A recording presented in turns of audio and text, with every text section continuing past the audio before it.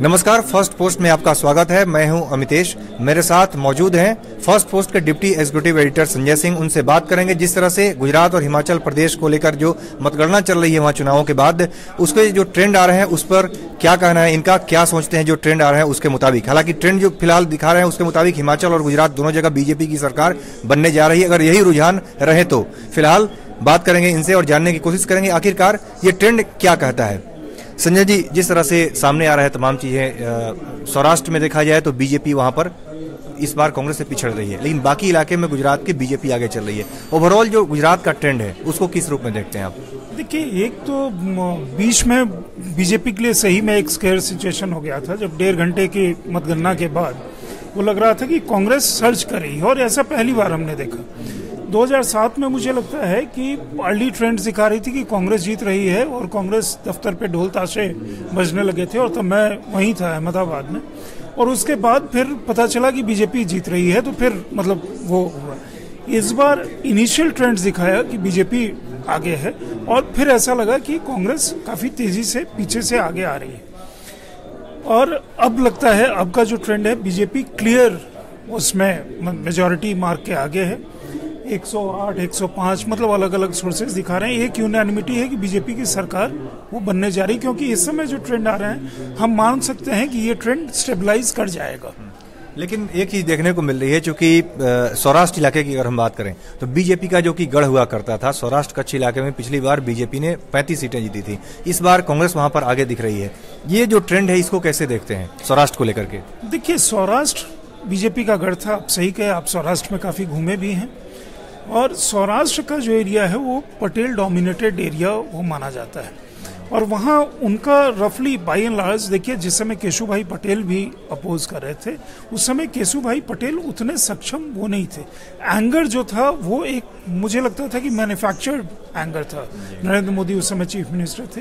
इस बार का जो एंगर था, जो शुरू हुआ अमानत, जो आरक्षण का इशू है, और वो कहीं और मतलब चुनाव जैसे जैसे खत्म हुआ मुझे लगता है कि उस समय में सबसे बड़ी नाराज़गी उनके अंदर जो थी वो दो चीज़ों को लेकर के है उन्हें पता है। जो लड़के रिजर्वेशन के लिए पाटीदार लड़के फाइट कर रहे हैं और शोर मचाते हैं और उन्होंने गोलियाँ भी सही उनका एंगर ये था कि जिस तरह का क्रैकडाउन हुआ स्टेट मशीनरी का, उनके आंदोलन के ऊपर, जिसमें चौदह लड़के मारे गए और कई सारे वो केसेस रजिस्टर हुए। वो स्टेट मशीनरी का जो क्रैकडाउन था, उस पर बहुत नाराज़गी है। और दूसरी उनकी नाराज़गी ये है कि अगर उन्हें पता है हमें नहीं मिल सकता तो बाकी अगर जातियों को मिला है, जैसे चौधरी इन पर्टिकुलर उनको किस तरह से मिल गया? ये चीज़ें मिला करके और हार्दिक इस चुनाव में एक फैक्टर थे। किसी भी तरह से आप हार्दिक पटेल का जो सभाएँ हो रही थी उस इलाके में कम से कम वो सभाएँ अच्छी हो रही थी। और वहाँ वो इफेक्टिवली वोट में भी ट्रांसलेट हुआ। जो तीसरा मोर्चा मतलब किसी न किसी फॉर्म में, गुजरात के चुनाव में हर समय हो रहा है। सात में हो या बारह में हो। इस बार वो नहीं था। और वो वोट जो है, वो बीजेपी कांग्रेस की तरफ़ वो चला गया और बीजेपी को इसलिए कई जगह पे मुश्किल का सामना करना पड़ा। देखिए, यही चीज़ देखने को मिला, चूँकि राजकोट में हमने रैली कवर की थी हार्दिक पटेल की, उस रैली में जिस तरह की भीड़ थी और जो एक करंट दिख रहा था वहाँ पर, जो लड़के वहाँ पर आए थे, पटेल समुदाय के, उनके भीतर ये बात दिख रही थी। नाराज़गी इस बात को लेकर थी कि पटेल आंदोलन के वक्त जो लाठीचार्ज हुआ था और जिस तरह से पटेल कई लड़कों की मौत भी हुई थी, गोली जो चली थी पुलिस की तरफ़ से उसमें, इसको लेकर नाराज़गी थी। और उसमें उनके जेहन में जो बात थी, अनामत को लेकर नहीं था, उस वक्त दूसरे फॉर्म में सामने आया था। उसमें था कि बीजेपी को हराना है और इस एंगल से उन लोगों ने अपना कैंपेन चलाया।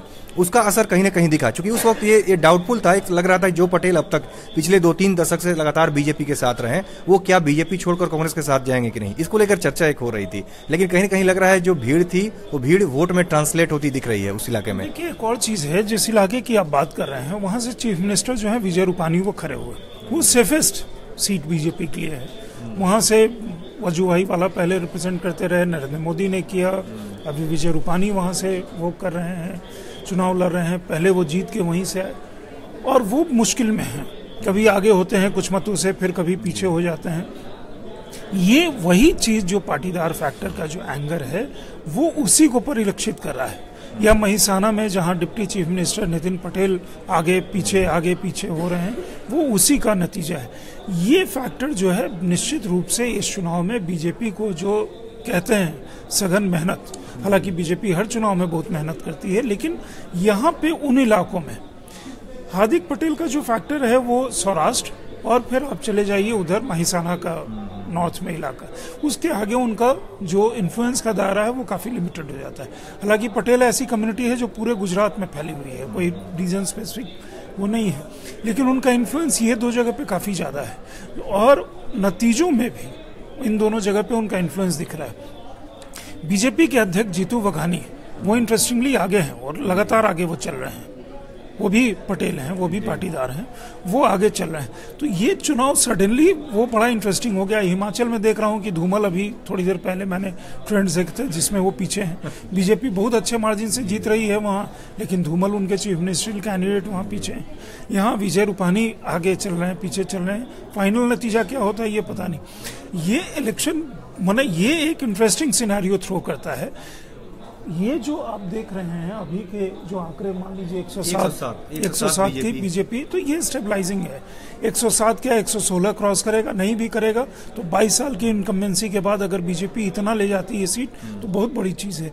इसमें अगर आप देखेंगे तो जीत जो है जो बीजेपी के लिए सबसे बड़ा फैक्टर था गुजरात में उनका संगठन बहुत मज़बूत है।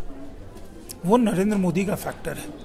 नरेंद्र मोदी की लोकप्रियता का फैक्टर है। यही सवाल मैं करना चाह रहा था क्योंकि जिस तरह से बीजेपी के अगेंस्ट में एक माहौल था, सौराष्ट्र इलाके में वो दिख भी रहा है तो पटेल की नाराज़गी, उसके बाद बाकी इलाकों की अगर बात करें, पटेलों के अलावा बाकी जो अदर कास्ट थे, चाहे उसमें किसानों की बात करें, किसानों की नाराज़गी कई मुद्दों को लेकर दिख रही है। बाईस साल का जो एंटी इनकम्बेंसी रहता है, कितना भी अच्छा कोई काम करे, लेकिन उसके बाद बाईस साल अगर आप सत्ता में रहते हैं तो सत्ता विरोधी रुझान देखने को मिलता है। उसके बावजूद, अगर यहाँ पर बीजेपी बेहतर कर रही है, सौराष्ट्र के इलाका, बाकी इलाकों में अगर करें, सौराष्ट्र के अलावा, उत्तर गुजरात, मध्य गुजरात, दक्षिण गुजरात में वहाँ बीजेपी कांग्रेस से आगे चल रही है। यही वजह है कि बीजेपी सौ का आंकड़ा इस वक्त पार कर चुकी है, जो रुझान दिख रहे हैं। तो इसको कैसे देखते हैं? क्योंकि सौराष्ट्र में पीछे होना, बाकी तीन एरिया में बीजेपी के आगे होना, क्या फैक्टर रहा? देखिए, ये बहुत बड़ी चीज़ है कि 22 साल के बाद बीजेपी अगर आ रही है तो 22 पाँच, सत्ताईस साल वहाँ राज करेगी। और फिर अगले चुनाव में क्या होगा, उसकी बात अभी क्यों करें? कांग्रेस वहाँ 1990 से बाहर है। पचासी में कांग्रेस आखिरी बार वहाँ पे चुनाव लड़ी थी। और इस चुनाव में कांग्रेस ने अपनी पूरी ताकत झोंक दी। बहुत सारे समय हमें लग रहा था कांग्रेस का जैसे हिमाचल में कांग्रेस ने कैंपेन ही नहीं किया। कांग्रेस के राहुल गांधी ने या कोई और सीनियर लीडर या पार्टी ने बिल्कुल ही ध्यान नहीं दिया। हिमाचल में वो पूरे शक्ति लगाए। उन्होंने तीन अल्पेश, जिग्नेश और हार्दिक पटेल पे दांव लगाया। अल्पेश और जिग्नेश में सो मच फैक्टर नहीं मानता हूँ। मुझे लग रहा था कि उनका चुनाव मुश्किल में है, लेकिन अभी वो लीड कर रहे हैं दोनों ही।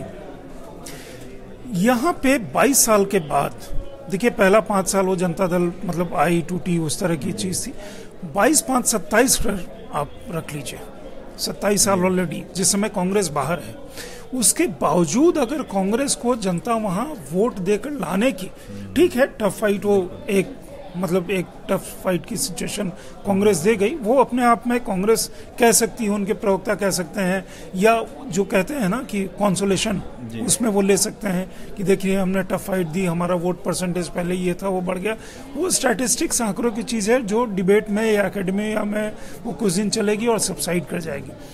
अंत में ये है कि 22 साल सरकार चलाने के बाद बीजेपी अगर सत्ता में वापस होती है तो ये बहुत बड़ी चीज़ है। बीजेपी संगठन के लिए, बीजेपी के नेता के लिए, बीजेपी के कार्यकर्ता के लिए, क्योंकि एक समय में बीजेपी के साथ सबसे जो गड़बड़ चीज़ थी और जो नरेंद्र मोदी ने आकर के वो करेक्ट की, वो बीजेपी सत्ता में तो आती थी, लेकिन एक टर्म के बाद रुक नहीं पाती थी। नरेंद्र मोदी ने उस टर्म को डिफाई किया। 2002 से लगातार मोदी ही वहाँ पर सत्ता में है। 2002 में उनके नेतृत्व में चुनाव लड़ा गया। 2007 में 2012 में, इसके इस बीच में जितने लोकसभा के चुनाव हुए 2014 में भी जीतने के बाद वो प्रधानमंत्री बन गए। लेकिन 2017 का चुनाव, जब वो देश के प्रधानमंत्री हैं, फिर भी उन्हीं के नेतृत्व में एक तरह से लड़ा गया, बीजेपी की तरफ़ से। क्योंकि बीजेपी का दूसरा कोई नेता वहाँ पर विजय रूपाणी खुद अपनी सीट बचाने के लिए जद्दोजहद कर रहे हैं। तो ऐसा फैक्टर नहीं दिखा मोदी के अलावा बीजेपी की तरफ़ से कोई दूसरा नेता सामने नहीं आया। बीजेपी ने मोदी के चेहरे को आगे किया। मोदी के जो पंद्रह सालों के कार्यकाल रहा उसको देखते हुए उसी के बिना पर एक तरह से बीजेपी ने वहाँ पर वोट मांगा जनता के बीच गए तो मोदी का फैक्टर और बीजेपी की जीत में कितना बड़ा योगदान है ये मोदी का काम? मोदी के पहले जो बीजेपी में नेता थे अब तो वो रहे नहीं। केशुभाई पटेल वहाँ वो मुख्यमंत्री थे या कांसी राम राणा या बाकी सुरेश मेहता ये तमाम लोग मतलब वो साइड हो गए। नरेंद्र मोदी का जो परसोना है वो गुजरात में गुजरात के दो जो महानतम नेता गुजरात ने जो दिए महात्मा गांधी और सरदार पटेल उस श्रेणी में जाकर के उनके मतलब नंबर तीन के पादान पे वो जाकर के वहाँ खड़े होते हैं।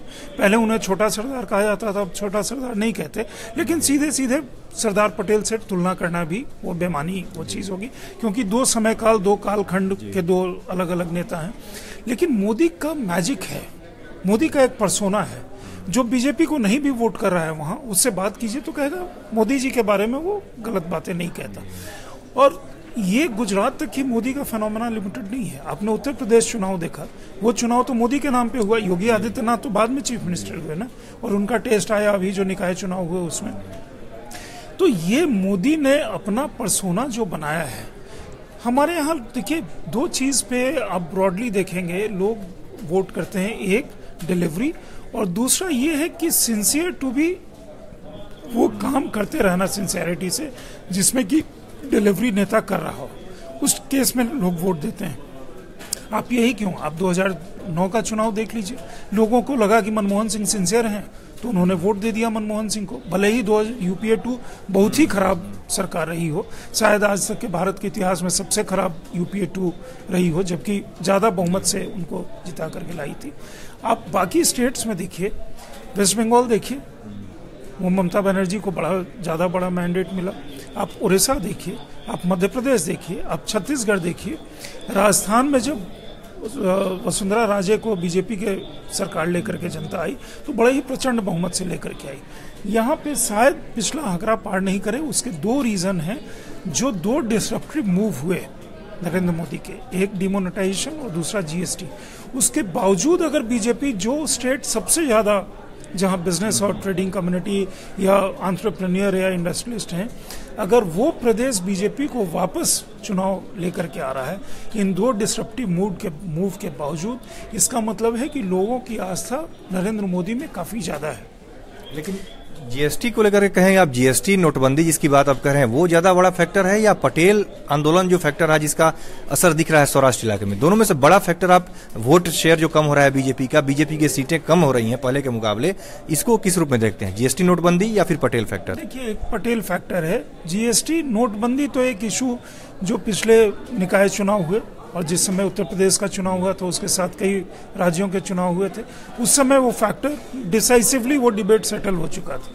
उसके बाद जो यहाँ नेशनल मीडिया में, या एकेडमिया में, या सेमिनार में वो जो निकल कर गया जब आरबीआई ने अपने फिगर्स दिए तो मुझे लगता है राहुल गांधी का एक्सेसिव थ्रस्ट जो था, वो बेकार था। दूसरा जीएसटी को लेकर के पॉकेट्स में वो था। जीएसटी से ज़्यादा देखिए टैक्स तो पहले भी था। जो जीएसटी के फाइलिंग में तर, तमाम तरह की पेचीदगियाँ हैं उसको लेकर के इरिटेंट फैक्टर वो था। और इसका मतलब पटेल का एक सब्सटैंटिव देखिए क्योंकि कई बार जो जाति वाली चीज़ होती है और जो एंगर होता है वो पर्सनल फिर एंगर होता है। तो वो फैक्टर मुझे लगता है जो नंबर ऑफ़ सीट्स देख रहे हैं वो पाटीदार फैक्टर के कारण है। आप सही कर रहे हैं सो मच क्योंकि जीएसटी के कारण जहाँ नाराज़गी थी भी वो बाद में जब रिव्यू होना शुरू हुआ तो उसके बाद वोटिंग तक जाते जाते क्योंकि वो बीजेपी के कोर सपोर्टर्स थे उनकी नाराज़गी कम हो गई। या तो वो घर बैठे रहे या जाकर के अंत में उन्होंने बीजेपी को लोग लोग ऐसा कहते दिखे चूँकि जीएसटी के कॉम्प्लिकेटेड जो जो उसको फिल करने में जो कॉम्प्लिकेशन है जिस तरह की परेशानी हो रही है उससे लोग अपनी बात कहते दिखे नाराज़ दिखे। लेकिन जीएसटी को एक तरह से बेहतर कदम भी बताते दिखे बहुत सारे लोग क्योंकि जीएसटी भरने में परेशानी हो रही है नाराज़गी भी है फिर भी करें लेकिन कदम अच्छा है। अमितेश इसका एक और इंटरेस्टिंग पहलू होगा। अगर जो लग रहा है कि बीजेपी ये चुनाव जीत रही है और डिसाइसिवली जीतेगी क्योंकि मान लीजिए आप हंड्रेड का आंकड़ा बाईस साल के बाद वन ज़ीरो सेवन पे जाते हैं या थोड़ा आगे होते हैं या थोड़ा पीछे होते हैं। तो ये जो दो मुद्दे राहुल गांधी लगातार पिछले साल 2015 के नवंबर से जब 8 नवंबर के बाद से उठा रहे हैं। पहले डिमोनेटाइजेशन और फिर जीएसटी को उन्होंने गब्बर सिंह टैक्स कहा। तो वो दोनों ही इश्यू सेटल हो जाते हैं। तो जब आप त्रिपुरा, नागालैंड और मिजोरम के चुनाव में जाएँगे, तब आप इनकी बात नहीं कर सकते। जब आप कर्नाटक में जाएँगे तो उनकी बात आप नहीं कर सकते। क्योंकि ये इशू सेटल्ड है। और अगले तीन महीने में जो भी पेचीदगियाँ होंगे आई एम श्योर सरकार उसको वो रेक्टिफाई कर लेगी। तो ये इशू आप ऐसे इशू को उठा करके चल रहे थे जो इशू लोगों के बीच में उतना फोर्सफुल नहीं था। मुझे लगता है कि एक वो चीज़ होगी जो कांग्रेस के लिए मतलब सोचने वाली बात होगी और सताने वाली बात भी होगी। क्योंकि आप जो जेनविन इश्यूज़ हैं, उनको छोड़ करके आप क्लिशेड वर्ड्स में लग गए जहाँ आप लोकोक्ति पर पहुँच गए। क्योंकि अगर वो यहाँ गब्बर सिंह टैक्स कहते थे तो यूपी में वो शाहरुख खान के कहते थे, मोदी 2000 पहले के चुनाव के पहले दिलवाले दुल्हनिया के शाहरुख खान थे और बाद में वो गब्बर सिंह हो गए। तो गब्बर सिंह से उनका एक फैशनेशन है, जो फैशनेशन इसके बाद चला जाएगा। दूसरा एक और भी इंपॉर्टेंट इशू है, जिसका इंटरेस्टिंग फॉल आउट है, और कांग्रेस को उस पर फिर सोचना होगा कि राहुल गांधी को जिस समय में नॉन हिंदू के बाद कांग्रेस इस सघन उस पर चली गई, राहुल गांधी 27 मंदिर गए जो रफ काउंट है। तो रफली वो हर दूसरे या तीसरे दिन एक मंदिर जा रहे थे। और वो शिव भक्त, जन उधारी हिंदू हो गए थे। उसका कोई फ़ायदा मिला? क्योंकि अगर पाटीदार है तो डिस्प्रपोर्शनेट जो कवरेज है, वो अल्पेश, जिग्नेश और हार्दिक पटेल को मिला है। और ये कांग्रेस ने दिलवाया है। तो मुझे लगता है कांग्रेस को ये सोचने की बात होगी कि आप तीन आउटसाइडर्स को आपने इस चुनाव के दरमियान नेता खड़ा कर दिया। और आपके जो वहाँ के नेता थे वो सारे के सारे नेता बैकग्राउंड में चले गए। कांग्रेस कांग्रेस जो पिछड़ रही है नॉर्थ गुजरात की बात करें सेंट्रल गुजरात और दक्षिण गुजरात ओवरऑल गुजरात में कांग्रेस जो पीछे चल रही है आपको लगता है कि जो लोगों में एक एंगर था 22 सालों के शासन के खिलाफ जो भी गुस्सा था जो भी एंटी इनकम्बेंसी थी उसको भुनाने के लिए कांग्रेस का कोई लोकल लीडरशिप नहीं था दमदार लीडरशिप नहीं था और कार्यकर्ता उतने मज़बूत नहीं थे माइक्रो मैनेजमेंट जिसकी बात कहते हैं वो नहीं था जिसके दम पर कांग्रेस उस एंगर को भुना नहीं पाई। इसलिए कांग्रेस का ये हाल है। देखिए माइक्रो मैनेजमेंट कांग्रेस काफ़ी समय से संगठन पे काम कांग्रेस ने करना छोड़ दिया है। कांग्रेस ने, पता नहीं, जमाने से सोनिया गांधी का राज रहा हो या बहुत सारे समय से राहुल गांधी वो चला रहे हैं, वो प्रेस कॉन्फ्रेंसेज और दूसरे सरकार की खामियों के बूते पे चुनाव जीतना चाहती और इस बार वो तीन लोगों को लेकर के आई और उन तीन को नेता खड़ा कर दिया और अपने सारे नेता को बैकग्राउंड में उन्होंने धकेल दिया। अब इसका नतीजा ये होगा कि मान लीजिए आप हिंदू जनेऊधारी हिंदू हो गए। आप अल्पेश, जिग्नेश और हार्दिक के बूते पे आप चुनाव लड़ने चले गए। तो आपका जो अपना वर्कर है, वो इस समय में गुजरात के अंदर काफ़ी डिमोरलाइज फील कर रहा होगा। क्योंकि कांग्रेस की जो भी संख्या आती है और अल्पेश और जिग्नेश अगर जीत जाते हैं तो वो सडनली वहाँ के फेस हो जाएँगे कांग्रेस के। तो कांग्रेस के अंदर का घमासान बढ़ेगा। आप ये देखिए कि अगर आप कर्नाटका में जाएँगे और जनेऊधारी हिंदू जब हो करके राहुल गांधी अगर वहाँ जाते हैं तो क्या उसका डिविडेंड कांग्रेस को मिलेगा? तो राहुल गांधी का सॉफ्ट हिंदुत्व का जो कार्ड रहा गुजरात में उसको फेल माना जाए। वो सॉफ्ट से शुरू हुआ था बाद में तो हार्ड हो गया ना भाई। जब वो जनेऊधारी ब्राह्मण वो हो गए राहुल गांधी जनेऊधारी हिंदू उसका मतलब क्या होता है कि हम तमाम हिंदुओं से ज़्यादा श्रेष्ठ हैं। क्योंकि ये जो उपमा राहुल गांधी ने अभी कुछ दिन पहले कहा कि कांग्रेस इक्कीसवीं सदी में लेकर के जा रही है, लेकिन नरेंद्र मोदी जिस दिन हुआ, उस दिन वो मेडिवल उसमें जा रहे हैं। तो ये जनेऊधारी हिंदू का जो वो है, एक जिससे आप प्राइड फील करते हैं, वो कौन से युग में किया जाता था? आज आप जनेऊधारी हैं कि नहीं है, मुझे नहीं पता। मैं जनेऊधारी हूँ कि नहीं, मैंने जनेऊ नहीं पहना। तो ये जो वो है ना कि जनेऊधारी, द्विजा ट्वाइस बॉर्न राहुल की यही गलती रही चूँकि नरेंद्र मोदी जो चाहते थे, अपनी पिच पर खिलाना चाहते थे राहुल गांधी को। फ़र्स्ट पेज के चुनाव के तक हम देखें तो कहीं ना कहीं बीजेपी कांग्रेस के मुद्दे के इर्द गिर्द अपना जवाब देती रही, लेकिन सेकंड फ़ेज़ आते आते, जिस तरह से नरेंद्र मोदी ने अपने तरीके से, अपने जो, उनका जो गेम प्लान है, उसमें कांग्रेस को कहीं ना कहीं लेने में सफल हुए। और उसमें मणिशंकर अय्यर का बयान आना, उसको लेकर के, और दूसरी तरफ़ राहुल गांधी का जो सॉफ्ट हिंदुत्व, सबको लेकर के लगता है कि नरेंद्र मोदी अंत में कांग्रेस को अपने पाले में अपने कोर्ट में खिलाने पर मजबूर कर दिया उन्होंने। देखिए, इसके दो ही वो हैं कि एक कि अगर आपके पास संगठन नहीं है और संगठन को आप बिल्ड नहीं करते हैं तो दूसरा है कि आपके नेता के अंदर इतना ओज होना चाहिए, इतना तेज होना चाहिए और इतना जनता के बीच में मतलब वो प्रवाह होना चाहिए, जो वेव कहते हैं। तब आप जाकर के चुनाव जीत सकते हैं। वरना चुनाव के समय में जाइए, वहाँ चार भाषण करिए और चार बाहर के लोगों को अपने साथ ले आइए तो आप चुनाव नहीं जीत सकते। आखिर में एक सवाल, बीजेपी के लिए अब एक चुनौती होगी जब मुख्यमंत्री का चुनाव होगा। तो विजय रूपाणी जो कि खुद आगे पीछे कर रहे हैं, विजय रूपाणी का क्या वहाँ पर एक उनका जो वजूद है, आप उसको खुद समझ सकते हैं, जिस तरह से गुजरात चुनाव के दौरान दिखा भी। विजय रूपाणी की कोई चर्चा नहीं थी, जो खुद मुख्यमंत्री अपने सीट पर फंसा हुआ है, कोई कार्यकर्ता भी उनसे अगर देखा जाए तो कोई क्रेज ऐसा नहीं लगा कि विजय रूपाणी चीफ मिनिस्टर भी है। मोदी के नाम पर चुनाव लड़ा गया। ऐसे में पटेल आंदोलन जो चला था, तमाम इश्यूज़ थे, कई इश्यूज़ थे तो बीजेपी क्या चाहेगी, यहाँ पर रणनीति बदलेगी? विजय रूपाणी के बजाय किसी और को मुख्यमंत्री बनाएगी? देखिए, हमें एक घंटे का इंतज़ार करना चाहिए कि विजय रूपाणी अंततः जीतते हैं या हारते हैं? अगर वो हारते हैं तो फिर सरकार बनाने की प्रक्रिया जो होगी बहुत इंटरेस्टिंग होगी। और हमारे और आपके जैसे लोग के लिए काफ़ी सारा काम रहेगा कि नया चीफ मिनिस्टर कौन होता है।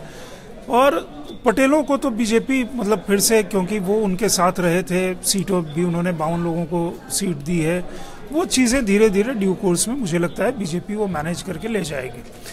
बट रूपानी के लिए हमें थोड़ा सा और इंतज़ार कर लेना चाहिए। उसके बाद जब हम आपसे बात करेंगे, तब शायद इस मुद्दे पे हम ज़्यादा बात कर पाएँगे। बहुत बहुत धन्यवाद। तो ये थे Sanjay Singh, deputy executive editor, जिनका कहना है कि विजय रूपाणी को लेकर के अभी थोड़ा और इंतज़ार करना होगा। हालाँकि फ़िलहाल जो आंकड़े आ रहे हैं, उसके हिसाब से बीजेपी की सरकार गुजरात में भी बनने जा रही है। लेकिन विजय रूपाणी का भविष्य क्या होगा? क्या मुख्यमंत्री दोबारा बनेंगे या उनकी जगह किसी और को बीजेपी सामने लाएगी? इसको जानने के लिए थोड़ा और इंतज़ार करना होगा। नमस्कार।